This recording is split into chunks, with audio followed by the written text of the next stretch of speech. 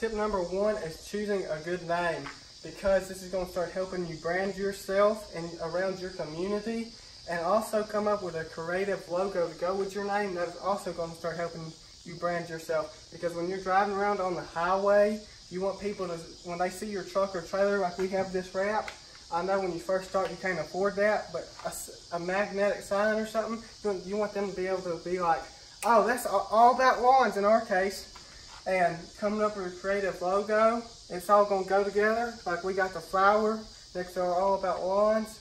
And just branding yourself so when uh, people in your community want a lawn care service, they just think of you just like that. Yes, tip number two is don't go out and buy equipment you cannot afford when you just started.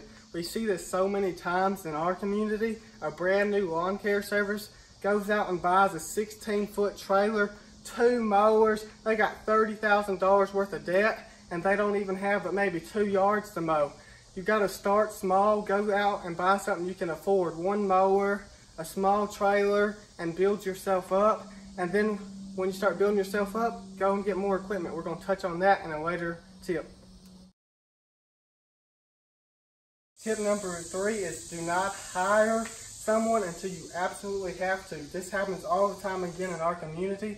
And let me tell you, you can make around $75,000 a year solo mowing yards. And when you hire somebody and you only got $50,000 worth of work a year, that's just money coming out of your pocket. That shouldn't be.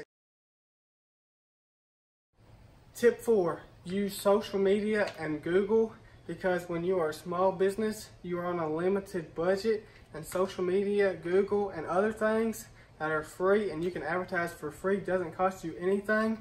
And get, get your customers to give you Google reviews. So when people get on there, they're more likely to call you. And just keep in mind to use things free to advertise when you are first starting because you have a limited budget. Tip number five is upgrading your equipment after you have built a customer base. This is the time where you go out and spend $10,000 on a mower. You go get you a new trailer, you wrap it, because now you have the jobs that you can afford it and you're not going to go into debt like earlier when you first starting people do that. It's going to save you on maintenance cost.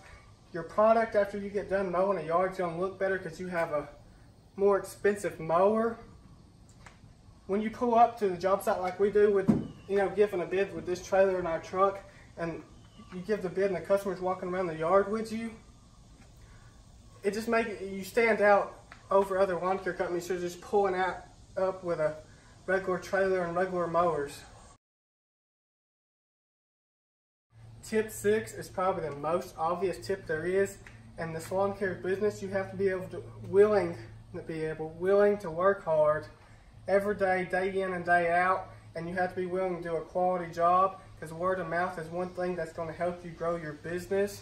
So you don't want to pull up to a yard and do a bad job and you're doing three yards in that neighborhood and the neighborhood and then they tell the neighbor that you're doing or the neighbor sees it, you're going to lose all three of them and back to working hard. You just got to be willing to go out and grind every day, I guess. Let's see if we can get 10 thumbs up on this YouTube video. Don't forget to subscribe. And our Instagram link is in the description. If you are not following us, go follow our Instagram.